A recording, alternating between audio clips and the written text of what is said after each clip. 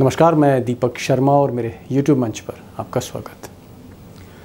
दोस्तों, अगर supreme court में, देश की सबसे बड़ी अदालत में ये जज ना होते, चीफ जस्टिस चंद्रचूड़, और उनके बहादुर साथी ना होते, जस्टिस बी आर गवई तो तय मानिए, आज, जी हाँ, आज राहुल गांधी की राजनीति चौपट हो गई होती, आज चौपट हो गई होती।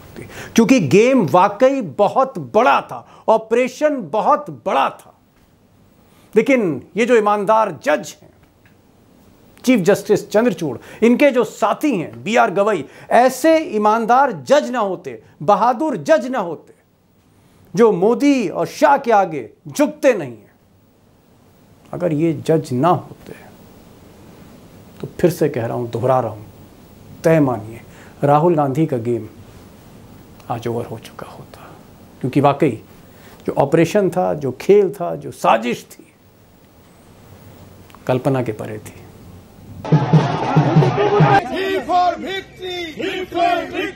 और हम पूरी उम्मीद करते हैं कि सोमवार को राहुल जी संसद आएँगे। आज नहीं तो कल कल नहीं तो परसों सच्चाई की जीत होती है।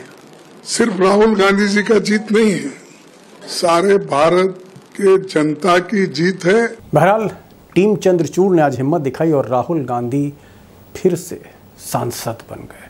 फिर से वो लोकसभा पहुँचेंगे और इसीलिए आज कांग्रेस के कैंप में आज खुशियाँ थी। लेकिन राहुल गांधी पर बोलने से पहले मैं फिर बात करूँगा चीफ जस्टिस चंद्रचूड़ की, जस्टिस बी आर गवई की, इनकी हिम्मत की। जिस तरह से इन पर प्रेशर था और जिस तरह से एक ज़बरदस्त तरीके से घेराबंदी गुजरात में हुई और एक बड़ी प्लानिंग के तहत हुई थी।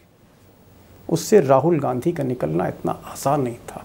पूरे आठ साल आठ साल के लिए राजनीति पर प्रतिबंध लगने जा रहा था। सोचिए कहाँ 2023 और कहाँ आठ साल बाद 2030 के बाद फिर से गेम शुरू करते राहुल गांधी।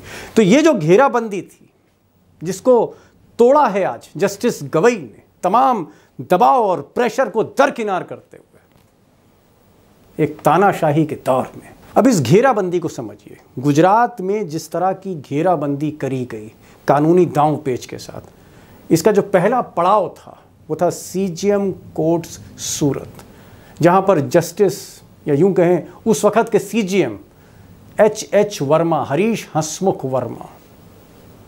अब किसके करीबी थे, मैं टिप्पणी नहीं कर सकता, लेकिन एक छोटे से मामले में, मानहानि के मामले में दो साल की जो सजा सुनाई। खेल वहाँ से शुरू हुआ इसी साल। और उसके बाद सेशन कोर्ट सूरत। जी हाँ पड़ाव नंबर दो, यहाँ भी सजा मिली। यानी जो सजा सीजीएम ने दी थी, उस पर मोहर लगा दी सेशन कोर्ट ने। और फिर उस केस को और वाटर टाइट किया, और पुख्ता किया हाई कोर्ट गुजरात में। उसने भी सजा पर मोहर लगा दी। कुल मिलाकर एक वाटर टाइट कंपार्टमेंट भले ही तथ्य नहीं थे, भले ही साक्ष्य नहीं थे, गवाह कमज़ोर थे, लेकिन कागज़ पे, पत्थर पर इस तरह से केस को मज़बूत किया गया कि अगर सुप्रीम कोर्ट में चंद्रचूड़ जैसी टीम ना होती, या कल्पना कीजिए रंजन गगोई जैसे जज होते तो सोचिए आज क्या होता। लेकिन फिर से हिम्मत की दाद देनी होगी जस्टिस गवई की, चीफ जस्टिस की। कि गुजरात की इस घेराबंदी को आज तार तार कर दिया। जस्टिस गवई ने, और एक रास्ता खोल दिया, दरवाज़ा खोल दिया राहुल गांधी के लिए कि वो फिर से लोकसभा जा सकते हैं। अब दोस्तों, मैं असली खबर पर आता हूँ, बड़ी खबर पे आता हूँ, और बड़ी खबर यह है कि राहुल गांधी दरअसल निशाने पर मोदी और शाह के आए 2019 के बाद। अब दो तरह से निपटना चाह रहे थे विपक्ष से। एक तरफ़ अमित शाह और मोदी की सोच थी कि जो राज्य सरकारें, गैर भाजपा की सरकारें, चाहे वो कर्नाटक में हो, चाहे वो मध्य प्रदेश में हो, चाहे वो महाराष्ट्र में हो, चाहे वो बिहार में हो, चाहे वो झारखंड में हो, बंगाल में हो, किसी तरह से उनको ऑपरेशन ईडी के तहत तोड़ा जाए। और तीन सरकारें उन्होंने तोड़ी कर्नाटक तोड़ा, मध्य प्रदेश तोड़ा, महाराष्ट्र तोड़ा। झारखंड तोड़ नहीं पाए और बिहार में नीतीश कुमार ज़्यादा तेज निकले मोदी से शाह से। और ममता बनर्जी के गुस्से के आगे चल नहीं पाई। और किसी तरह से जादूगर अशोक गहलोत, ये भी अपनी सरकार को बचा लेगा टूटने। लेकिन तीन सरकारें गिरी। तो एक तरफ़ राज्य सरकारें रीजनल पार्टीज़ को तोड़ना था, लेकिन जो असली मकसद था रीजनल पार्टीज़ के अलावा, वो था ऑपरेशन राहुल गांधी। कि अगर राहुल गांधी की सियासत को कहीं ना कहीं कम कर दिया जाए, ख़त्म कर दिया जाए, किनारे कर दिया जाए, बंद कर दिया जाए, इस चैप्टर को क्लोज कर दिया तो जो सबसे बड़ी पार्टी है, या बीजेपी की जो प्रिंसिपल अपोनेंट पार्टी है, कांग्रेस, वो बिखर सकती है। और इस ऑपरेशन की शुरुआत इन साहब के नेतृत्व में हुई। जी हाँ one of the most powerful officer Sanjay Mishra. और ऑपरेशन ईडी में जो पहली फ़ाइल दोबारा खोली गई, वो फ़ाइल थी नेशनल हेरल्ड की। और कोशिश ये थी कि कहीं ना कहीं राहुल गांधी को फंसाया जाए घेराबंदी की जाए। नेशनल हेरल्ड एक अखबार था जो कांग्रेस चलाती थी। उसी को लेकर कुछ आ, सवाल उठे थे कि किस तरह से इस नेशनल हेरल्ड को फिर से रिवाइव करने में कुछ लोगों ने गलतियाँ करी और टारगेट पर राहुल गांधी और सोनिया गांधी आ जाए। फ़िलहाल नेशनल हेरल्ड मामले में घेराबंदी शुरू हुई। और आपको पता है कि 2022 में राहुल गांधी को जेल भेजने की तैयारी हो चुकी थी। 50 घंटे 50 घंटे, जी हाँ 50 घंटे राहुल गांधी की पूछताछ हुई बार बार हुई।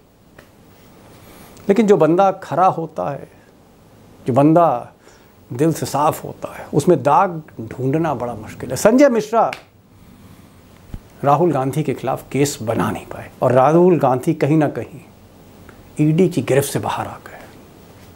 आप यूँ कह सकते हैं कि Rahul Gandhi operation part one fail हो गया।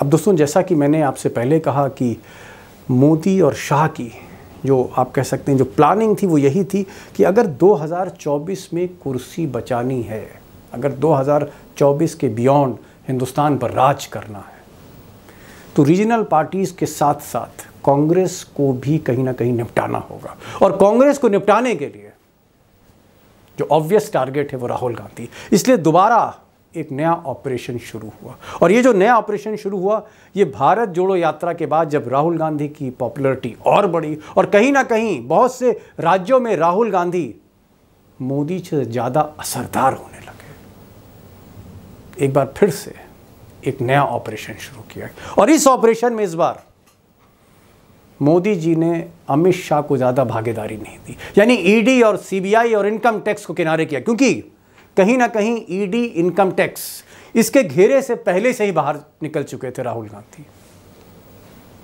Operation part two defamation case और यहाँ पर ये जो साहब हैं, मोदी जी के पुराने शिष्य पूर्णेश मोदी, सूरत से एमएलए मोदी जी के आप कह सकते हैं रहमो करम से मंत्री बने और फिर इनको इस बार ज़िम्मेदारी दी गई। राहुल गांधी की सियासत खत्म करने की। और जिस तरह से तैयारी की, जिस तरह से कागज़ तैयार करवाए, जिस तरह से अदालत की शरण ली पूर्णेश मोदी ने जो पहली पारी थी, इस मैच की जो पहली इनिंग्स थी, उस पर वो हावी हो गए। और जब सूरत के सीजीएम कोर्ट ने सजा सुनाई राहुल गांधी को दो साल की तो पूर्णेश मोदी बड़े मोदी के हीरो बन चुके थे। क्योंकि राहुल गांधी लोकसभा से बाहर कर दिए गए। उनका बंगला उनसे छीन लिया गया। आठ साल का उन पर प्रतिबंध लगने जा रहा था। दो साल की सजा मुकर्र हो चुकी थी, जिस पर सेशन कोर्ट ने मोहर लगा दी थी और हाई कोर्ट में भी मोहर लग चुकी थी। यानी गेम खत्म होने के कगार पे था राहुल गांधी का।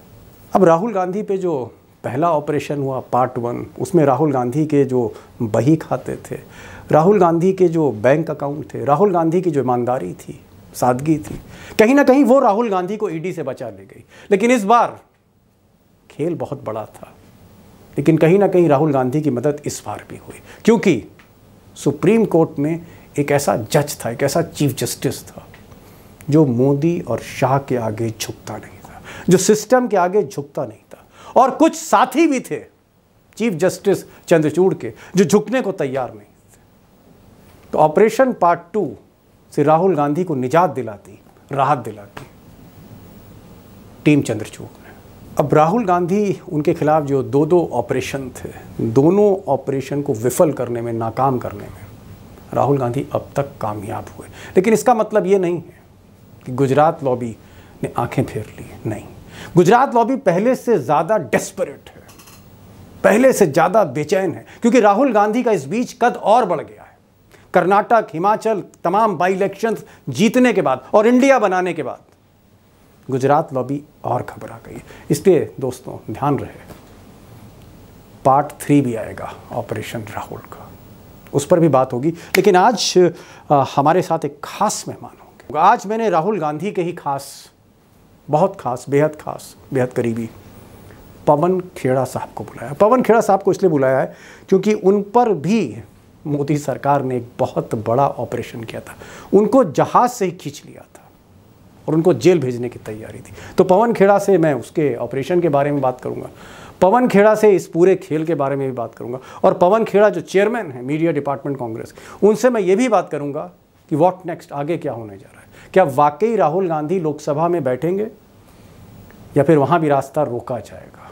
तो काफ़ी नाजुक मुद्दों पर उनसे बात होगी और मैं चाहूँगा कि इस छोटी सी बातचीत को आप आखिर तक सुने, क्योंकि पवन खेड़ा उन चंद लोगों में से हैं जो राजनीति में बात करते हैं, ज़ुबान से नहीं, दिल से करते हैं। खेड़ा साहब, जो पहला सवाल है, पहला सवाल यह है कि ये जो पूरा सीक्वेंस ऑफ़ इवेंट है, पूरा जो घटनाक्रम हम देखें, जो सूरत में एक सीजीएम के कोर्ट से शुरू होता है फिर सेशन कोर्ट सूरत के जाता है फिर हाई कोर्ट जाता है गुजरात के।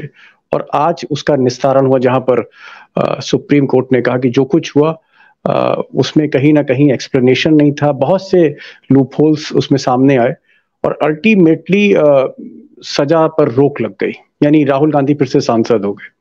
ये जो पूरा घटनाक्रम है आपको ऐसा लगता है कि राहुल गांधी को कहीं ना कहीं जुडिशरी में फ्रेम किया गया, उनको कहीं ना कहीं फंसाया गया, ऐसा लगता है आपको?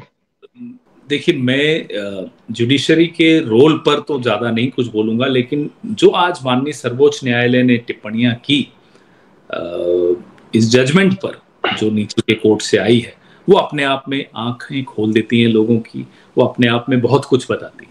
तो उस पर मैं कुछ बोलूँ और मुसीबत में फंसूं, ऐसा नहीं करूँगा। लेकिन हाँ वो ऑब्जर्वेशंस अपने आप में बहुत गंभीर सवाल खड़े करती ठीक है, जुडिशरी पे हमें नहीं बोलना चाहिए, ना आपको बोलना चाहिए, लेकिन पर्दे के पीछे जो जो अगर हम एक कदम थोड़ा और पीछे आए, जुडिशरी को छोड़ दें, क्योंकि जुडिशरी को हम सुप्रीम कोर्ट ले छोड़ दें।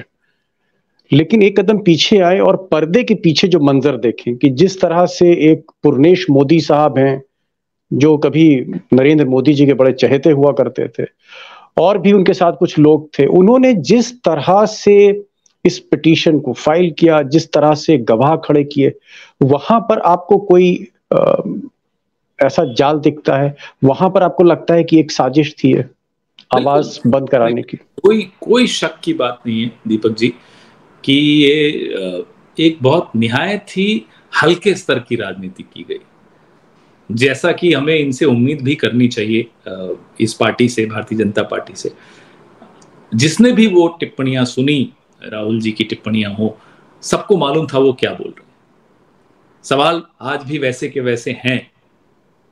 तो उसमें आप शब्दों के भीतर कुछ ऐसा निकाल कर एक जाल इस तरह का रचना, बुनना, वो आपके सामने हुआ जो हुआ। और आज बड़ी खुशी की बात है कि हमें न्याय मिला। जिस तरह से गौतम अडानी पर खुलकर राहुल गांधी हमला कर रहे थे, बोल रहे थे, पोल खोल रहे थे, कलई खोल रहे थे, और अगली किस्त उनकी और ज़्यादा ज़बरदस्त आने वाली थी, उससे पहले ही राहुल गांधी को दरवाज़ा दिखा दिया गया लोकसभा का बाहर। कहीं पर ये गौतम अडानी गौतम अडानी को नरेंद्र मोदी से लिंक करना, ये एक कारण हो सकता है कि जहाँ बीजेपी की जो बैटरी थी, उन्होंने घेराबंदी करी पिटीशन डाली क्या अडानी एक प्रॉब्लम थे ऐसा आपको लगता है? जैसे पुरनेश मोदी ने अपनी ही याचिका पर को विड्रॉ करके फिर से गया कोर्ट और जिस आनंद फानंद में ये सब हुआ और उसके बाद जब लोअर कोर्ट से ऑर्डर आया 24 घंटे भी नहीं लगे 120 पेज का गुजराती का ऑर्डर 24 घंटे में लोकसभा की सदस्यता उनकी रद्द कर दी गई। ये सब क्या दर्शाता है? ये दर्शाता है कि कोई डरा हुआ है वो कौन हो सकता है? ज़ाहिर सी बात है कि वो कोई और एमपी तो नहीं होगा बीजेपी का जो डरा होगा। मंत्री भी नहीं डरे होंगे, हो सकता है उनको तो अच्छा भी लग रहा होगा कि उनके मोदी जी पर कोई तो हमला बोल रहा है, कोई तो उनको सवाल खड़े कर रहा है। तो डरे हुए तो एक ही व्यक्ति है, नरेंद्र मोदी जी। उनका डर इस बात से भी दिखता है कि जब गौतम अदानी का नाम राहुल गांधी जी ने या मल्लिकार्जुन खड़गे जी ने संसद पे लिया, उनके रिमार्क्स एक्सपंज कर दिए गए। सदन की कार्रवाई से वो शब्द हटा दिए गए। क्यों आपको क्या डर है? क्यों हटा दिए गए? और उसके बाद जिस जिन परिस्थितियों में राहुल गांधी को संसद में बोलने नहीं दिया जा रहा था आ, संसद की कार्रवाई नहीं चलने दी जा रही थी साफ़ समझ में आ रहा था कि कोई ऐसा है जो डरा हुआ है। जो डरा हुआ है।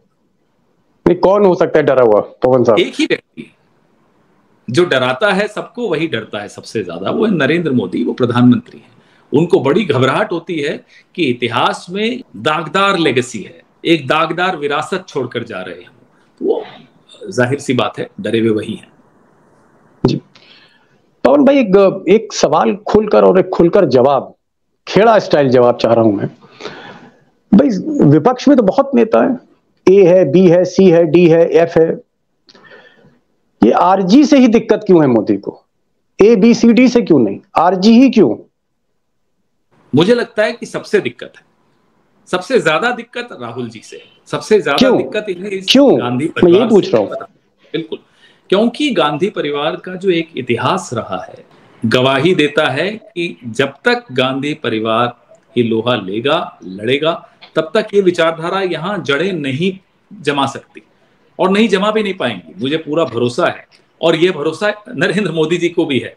आई थिंक यही एक चीज़ है जो कॉमन होगी हम में और नरेंद्र मोदी में कि ये भरोसा उन्हें भी है कि गांधी परिवार है, ये इस विचारधारा को जड़ें नहीं जमाने देगा। इसका अर्थ ये नहीं है कि बाकी विपक्ष के नेता किसी भी कीमत पे कम हो, वो भी अपनी लड़ाई सब लड़ रहे हैं। लेकिन एक राष्ट्रीय पार्टी का एक राष्ट्रीय नेता, जिसकी एक लंबी चौड़ी विरासत हो, जिसके परिवार का एक इतना गरिमामयी इतिहास हो गौरवशाली इतिहास तो ये उस हम्म। उस परिवार से ये घबराते हैं। संघ परिवार शुरू से इस परिवार से बहुत घबराता है क्योंकि वो असलियत जानता है अपनी भी और हमारी भी। वो जानता है कि अगर कोई इस विचारधारा को मात दे सकता है हरा सकता है तो वो ये परिवार है। इसका अर्थ ये नहीं है कि बाकी विपक्ष के नेता कोई कमज़ोर हैं सब अपनी अपनी लड़ाई लड़ रहे हैं लेकिन क्षेत्रीय दल है। एक ही राज, राष्ट्रीय दल का राष्ट्रीय नेता और वो भी एक ऐसे परिवार का नेता जो जो एक जिसका एक गौरवशाली इतिहास रहा हो। जी। उससे ये ज़ाहिर सी बात है नरेंद्र मोदी डरते हैं। आपको लगता है कि क्या अब सरकार जो है क्योंकि अब राहुल गांधी तो आज से सांसद हो गए मेंबर ऑफ़ पार्लियामेंट हो गए just one stroke of supreme court. आपको लगता है कि क्योंकि अविश्वास प्रस्ताव आ रहा है और अविश्वास प्रस्ताव में राहुल गांधी बोल सकते।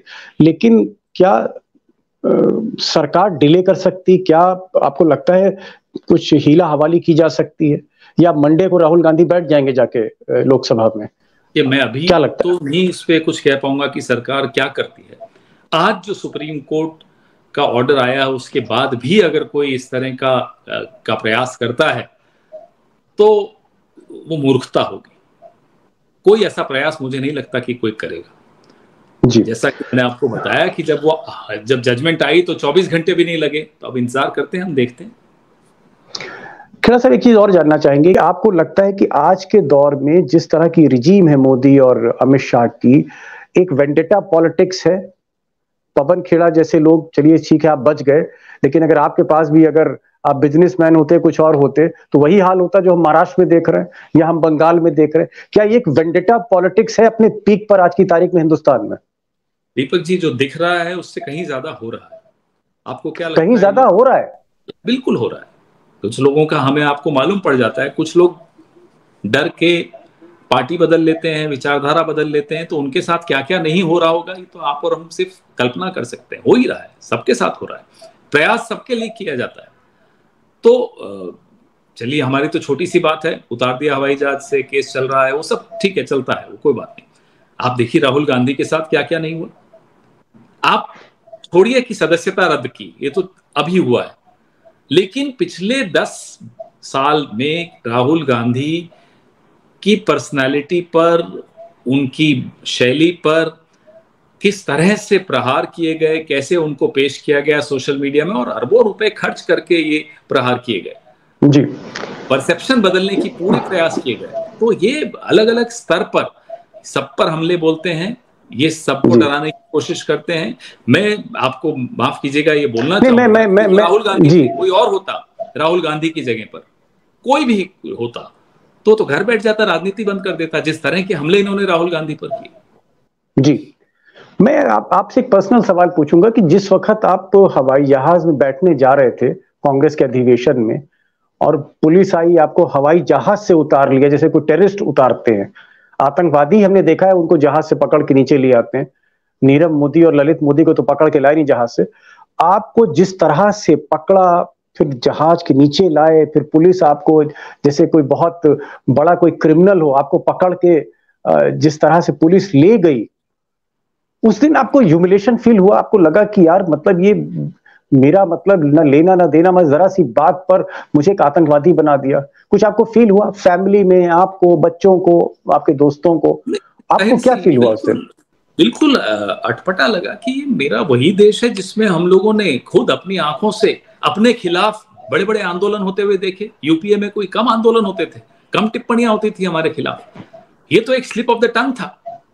उसमें ऐसी कार्रवाई कि मुझे पहले हवाई जहाज़ का स्टाफ आके बोलता है, जरा नीचे आइए, कुछ कंफ्यूजन हो गया सामान को और नीचे पुलिस और पैरामिलिट्री और तमाम ना जाने क्या क्या अब बिल्कुल बुरा लगा, अटपटा लगा और एक विश्व, विश्वास डगमगा गया लोकतंत्र पे और अपनी खुद की लोकतांत्रिक अधिकारों पर जो विश्वास होता है कि साहब, बाबा साहब अंबेडकर का संविधान है मेरे पीछे, मुझे कोई घबराहट नहीं होनी चाहिए। वो उस दिन डगमगाया, इसमें कोई शक की बात नहीं। आपको लगता है पवन खेड़ा की जगह कोई विजय खेड़ा होता या अजय खेड़ा होता? तो घर बैठ जाता उस दिन। अगर राहुल गांधी की पार्टी में राहुल गांधी का सैनिक हो उसका कोई भी नाम हो वो घर नहीं बैठेगा वो फिर भी लड़ेगा। तो मैं नहीं तो आपकी जगह कोई और होता। मैं ये कह रहा हूँ। हाँ, क्या इतना इतना आपको ट्रॉमेटाइज किया था? बिल्कुल बिल्कुल ये तो मेरा परिवार का पूरा सहयोग है मुझको। सबने पूरा जोश दिलाया कि नहीं कोई बात नहीं होता है फिर लड़ेंगे लड़ना है। तो वो कोई और होता तो शायद बैठ जाता। लेकिन लास्ट क्वेश्चन कोई व्यक्ति जी। नहीं है जो बैठ जाएगा। लास्ट क्वेश्चन आपको क्या लगता है कि आज सुप्रीम कोर्ट ने जस्टिस गवई ने जो फैसला दिया एक बहुत बोल्ड उनका डिसीज़न है। उन्होंने अपने फैसले में कहा कि राहुल गांधी ने तो कोई अपमानजनक बयान ही नहीं दिया। उन्होंने ये भी कहा कि मजिस्ट्रेट ने आखिर कैसे जब सेंटेंस किया दो साल की जब सजा दी उसका कारण क्यों नहीं बताया? दो साल की ही सजा क्यों? इस तरह के जब सवाल उठाए, आपको लगता है अगर ये सवाल ना उठाए जाते, अगर सुप्रीम कोर्ट में कोई चंद्रचूड़ ना होता, और अगर यही सिस्टम ऐसे ही चलता रहा, जो मीडिया का हाल है, कॉरपोरेट का हाल है, ब्यूरोक्रेसी का हाल है, आपको लगता है कि आज का फैसला एक बहुत पॉजिटिव है पूरे विपक्ष को? विपक्ष मतलब आपकी जो इंडिया है उसके लिए एक ऐसा फैसला है जहाँ थोड़ा सा एक सेल्फ कॉन्फिडेंस आप लोगों को आया है कि नहीं यार, लड़ा जा सकता है, नहीं आगे बढ़ा जा सकता है, भिड़ सकते हैं। दीपक जी, ये देश के लिए एक राहत का फैसला है। अलायंस के लिए है, इसमें कोई शक की बात नहीं, कांग्रेस पार्टी के लिए है, कोई शक की बात नहीं, लेकिन देश में एक एक नागरिक के लिए जो अपने अधिकारों को लेकर चिंतित है, जो अपने भविष्य को और आने वाली पीढ़ी के भविष्य को लेकर चिंतित है कि साहब, देश किस दिशा में जा रहा है उसके लिए ये राहत की सांस लेने का मौका है और ये ऐसा, ऐसी घड़ी है जिसमें मुझे लगता है पूरे देश ने राहत की सांस ली होगी। ऐसे लोग भी जो भारतीय जनता पार्टी को समर्थन देते हैं, उनमें भी, और मैं दावे के साथ कह सकता हूँ कि नरेंद्र मोदी के कैबिनेट के एक एक सदस्य ने राहत की सांस ली होगी कि चलिए ये अच्छा हुआ, क्योंकि जो आज राहुल गांधी के साथ हुआ है, वो कल किसी के भी साथ हो सकता था। चलते चलते एक सवाल पूछ रहा हूँ। आप राहुल गांधी के जी के साथ रहते हैं भारत जोड़ो यात्रा में थे साई की तरह रहते हैं। अगर मैं पूछूँ अपने दर्शकों की तरफ़ से पूछूँ ऑडियंस की तरफ़ से पूछूँ कि वो तीन चार क्वालिटीज क्या हैं जो आपको राहुल गांधी में दिखी? What are the three four qualities Deepak ji सबसे महत्वपूर्ण क्वालिटी जो मैं आज भी मैं दूर से देख रहा था आज भी देख रहा था एक एक सबसे बड़ी क्वालिटी जो आ, हर धर्म में, हर दर्शन में आपको पढ़ते हैं जिसके बारे में कि न वो हार से ज़्यादा परेशान, न जीत में एकदम खुशी में प्रफुल्लित होकर चहक रहे ऐसा कुछ नहीं। एक बैलेंस दिखता है। चेहरे पर एक शांत चित्त, वो जो स्वभाव दिखता है, चेहरा एक्सप्रेशन दिखता है हाव भाव दिखते हैं, वो बहुत बड़ी क्वालिटी है। अच्छे अच्छे हिल जाते हैं। मैंने खुद कई लोगों को हिलते देखा, अपने आप को हिलते देखते हैं जब कुछ ऊंच नीच हो जाती है। उस व्यक्ति को मैंने देखा बिल्कुल निडरता से धैर्य से गोइंग अबाउट हिज लाइफ उसको क्या आदमी सादगी पसंद है या मोदी जी की तरह इनको रोल्स रॉयस और उस तरह का हाँ, जहाज़ शान शौकत दस लाख का? नहीं मैं आपसे पूछ रहा हूँ। वो टी शर्ट और वो ट्राउजर्स वो आपको दिखती हैं कहीं से भी। मतलब आप आप मित्र हैं हम हम आपको बहुत पसंद करते हैं एज अ जर्नलिस्ट क्योंकि आपने हमारी भी निंदा बहुत की है। जब हम सत्ता में थे तो मैं आपका पूरा सम्मान करता हूँ। लेकिन ये मैं आपसे गुजारिश करता हूँ राहुल गांधी की तुलना और किसी से कर दीजिए नरेंद्र मोदी से मत कीजिए। कृपया करके हम्म। क्योंकि वो बहुत न्यायपूर्ण पूर्ण तुलना होगी वो ठीक नहीं होगा। डिफरेंट कैटेगरी है मतलब आप ये कहना अपमान है राहुल गांधी का। नरेंद्र मोदी से तुलना करना राहुल गांधी का अपमान मानता हूँ। चलिए मैं ये मैं अब आगे पूछूँगा ही नहीं कुछ आपने ऐसी बात कर दी। आपने कहा कि राहुल गांधी की तुलना नरेंद्र मोदी से करना अपमान होगा। अब ये सवाल तो बहुत बड़ा है। राहुल गांधी का अपमान होगा। मुझे लगता है कि इस विषय पर फिर मिलेंगे। और आपसे मैं मैं चाहूँगा इसको डाइसेक्ट करना इसको डिकोड करना। आप आए आप आए इस प्रोग्राम में और आज तो आपके लिए जाने से डरता नहीं हूँ मैं फिर डाइसेक्ट ज़रूर करूँगा आपके साथ बैठकर। बिल्कुल बिल्कुल। थैंक यू सो मच आप आए और मैं आपको आ, आज का दिन आप मुझे लगता है बहुत बिज़ी होंगे। एक एक बिग डे फॉर कांग्रेस तो ठीक है आप आए। खिलाना चाहता हूँ कि रसगुल्ले तो नहीं आज मैं टमाटर बांटने की कोशिश कर रहा हूँ अपने जितने साथी हैं। अगर आप आते यहाँ इंटरव्यू लेते तो मैं आपको टमाटर खिलाता। चलिए सर फेंकिएगा नहीं दे दीजिएगा। वैसे टमाटर फेंके जाते हैं। अब थैंक यू सो मच बहुत महँगे जी थैंक यू सो मच